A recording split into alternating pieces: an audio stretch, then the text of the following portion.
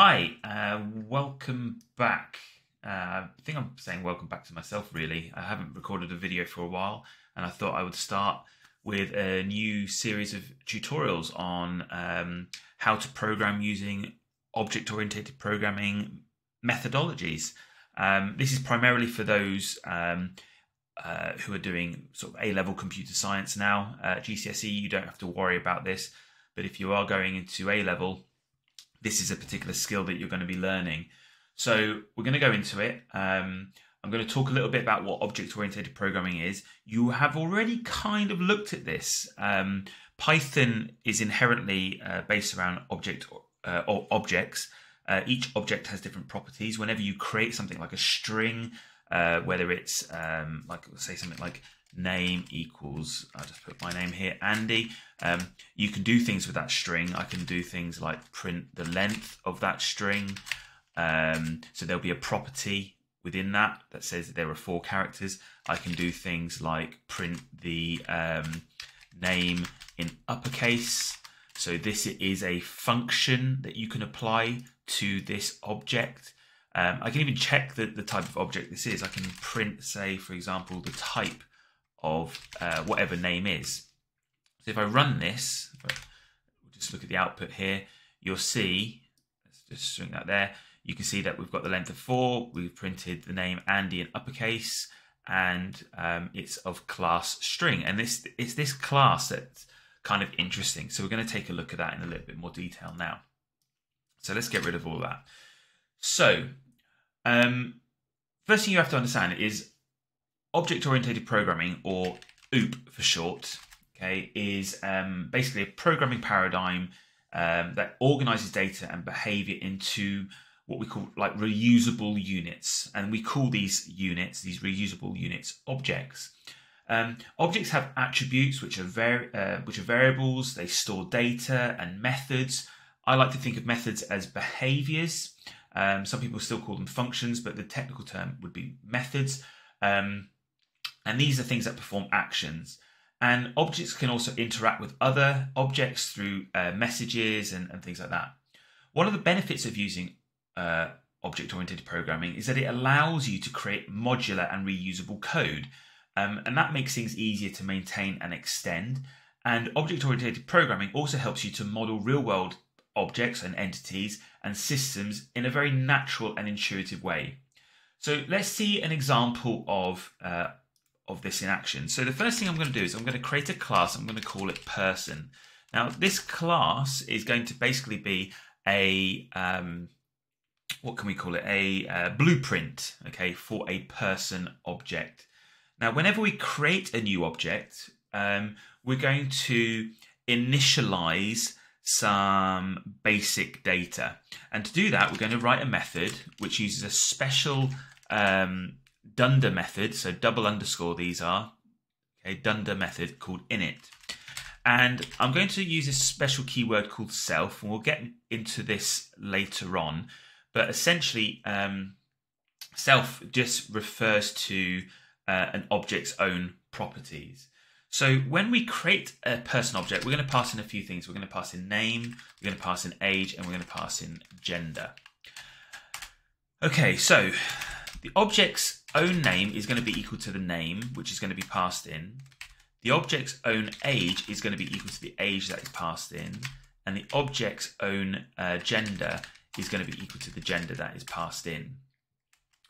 Okay, so this is our initialization method.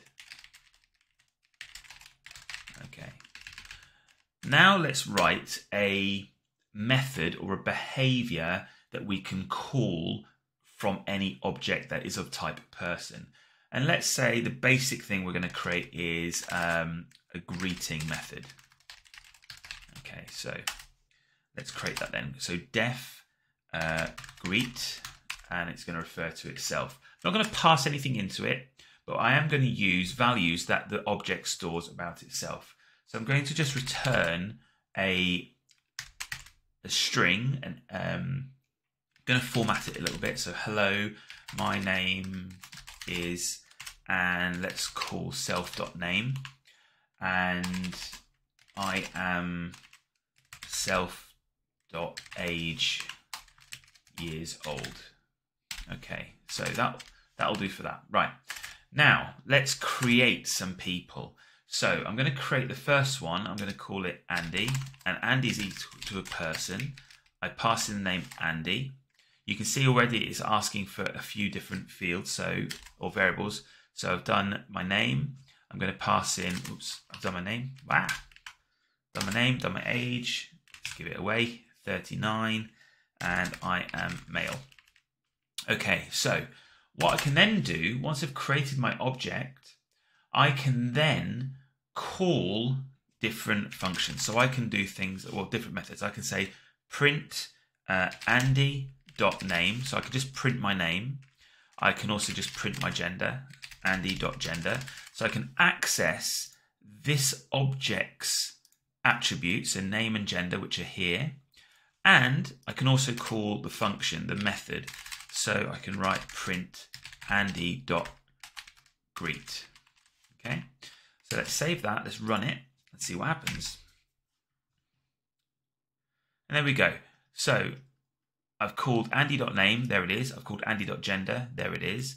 And I've called Andy.greet. And hello, my name is Andy and I'm 39 years old. If it's my birthday soon, I can also do Andy.age equals or plus equals 1. And now I can just do Andy.age again, print that. But let's call the greet function again. And you'll see this time it's updated. So I can interact with the attributes on their own as well. Right. So what's good about this? I can create a, a blueprint for people objects. I can create uh, an object using that blueprint. And what's really good now is I can also extend this a little bit further. Let's get rid of all these things and make a different uh, person. So Bob equals person.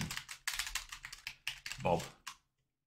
Bob can be 23 and Bob can be male. I can then do, um, let's do Claire equals person. Claire. Claire could be 25 and Claire could be female.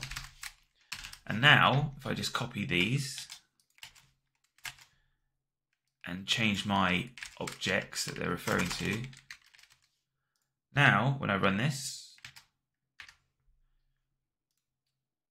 you'll see that I've got Hello, my name is Andy and I'm 39 years old. Hello, my name is Bob and I'm 23 years old. And hello, my name is Claire and I'm 25 years old. I can use that one blueprint, this one big blueprint here,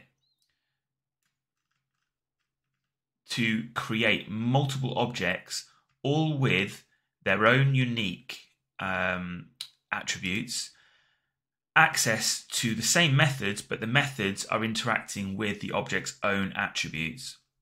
It's a really intuitive way of programming, really helpful to help you create and maintain code, but also extend your code really easily because I can then add new methods to this uh, person. Maybe I want to create a sleep method or an eat method or um, uh, do your homework method, whatever it is. I can create and extend those uh, classes by creating those those methods.